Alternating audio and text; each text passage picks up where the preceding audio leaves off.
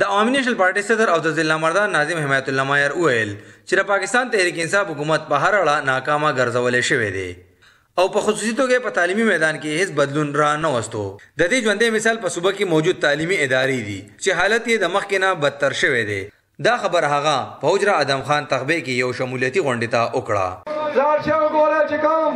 د بلم جبې زانګوګانو ته عمران خان تللی و. دغه ټیکه د وزیر اعلی پرویز خټک د عاطف او د عاطف د تر نظامونو په شریکه باندې ده او لومړنۍ ټیکه په پاکستان کې چې پیسې ول حکومت مخکې ورکړې دي او ټیکه دا رښتو کار کوي چې نه کې باغیان کړې دي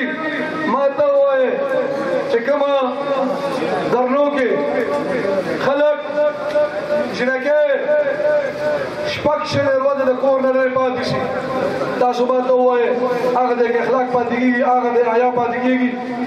زه چیلنج ورکوم چې ما ته د پي ټي آی دا چیلنج والا وایي دا بدلون والا عمران خان ته راته ووایي چې د ډي خان نه والې تر چتراله پورې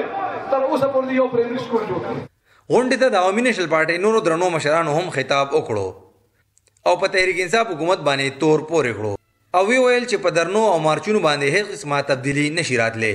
بلکې نوجوان نسل د تباهۍ طرف ته روان دی. په اخر کې د ضلعمردان ناظم حمایت الله معیار په عوامي نېشنل پارټۍ کې شامل کسانو ته د پارټۍ سرې ټوپۍ په سر کړې. شازیه اورنګزېب ځنانو ته د پارټۍ څادرې په سر کړې. د کېمره مېن حسن سید سره امجد خان مومند مشرق نیوز تخت باي.